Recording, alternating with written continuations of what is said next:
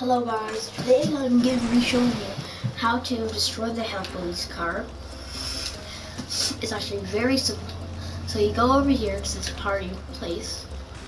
You see that boulder? You need to go get it. Sorry by the way, my goat really loves flying. Uh, you lick it. There. Then you just keep running down. And then, you know, you go to the hillbilly car. Yeah, I got the Boulder of Death trophy, so I guess that's how to get that too. Uh, so the hillbilly car is down here if you didn't know. Uh, and okay, so I didn't hit the hillbilly. But now, I'm trying to drive over this.